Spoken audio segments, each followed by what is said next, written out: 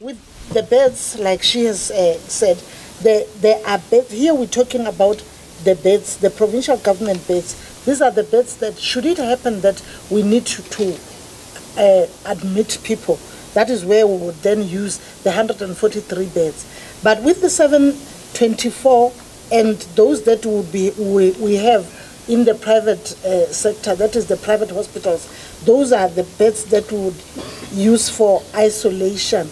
I mean, for not for isolation is 142, 43. The 724 is quarantine.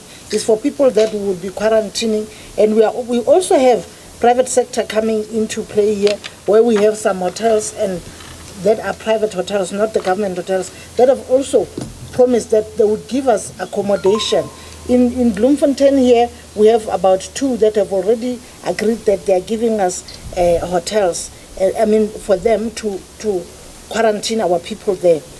With the Department of Health right now, we had 205 tracers, but we have since appointed 500, hence we have 705. This, we have uh, 140 of them seconded to us by Red Cross and this 500 that we've just appointed, we have to train them first because they are not trained. So then they could start uh, then tracing the people.